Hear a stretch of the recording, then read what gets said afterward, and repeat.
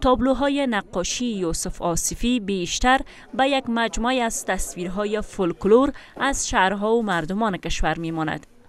این تابلوها به روش های ریالیسم، آبستره و اکسپرسیونیزم که در آن احساس و هیجان برجسته است نقاشی شدند. درست از، از شروع کردم قبول می‌کنیم بعدا کوشش کردم که ما در کارایم ابتکارات داشته باشم البته پس اول مثلا با برس کار شروع کردم بعدا با کار بود و کار به شوای مختلف.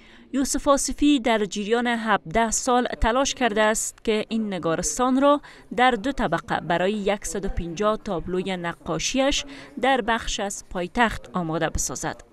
تا کنون به گونه کامل همه تابلوها بر دیوارهای این نگارستان نصب نشدند و این نگارستان از درون با روش میماری کندنکاری در چوب به شیوه نورستانی، هیراتی و کبلی ساخته شده است.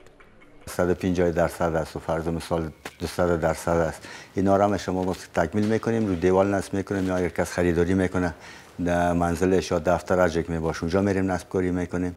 یوسف آصفی با نزدیک به چهل سال تجربه نقاشی یک نقاش آموتور است. در واقع نقاش درس پزشکی خوانده است.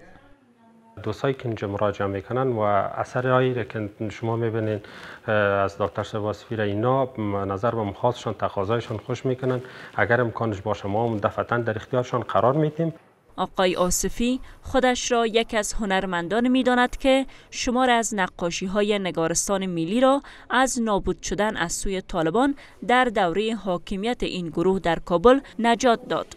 تانستم 80 تابلو را با توسط رنگ واتر کلر یا رنگ آبی سر مسائلی که فیگور زیرو بود سر کلش طبیعت مجاورش تکمیل کردم که تو نشه. این نگارستان به نام خود نقاش یوسف آصفی است. برای ماندگاریان در کار ساختان هیچ عجله نکرده است. تا این آفریده های هنری در یک مکان ویژه برای سالیان زیاد ماندگار بمانند.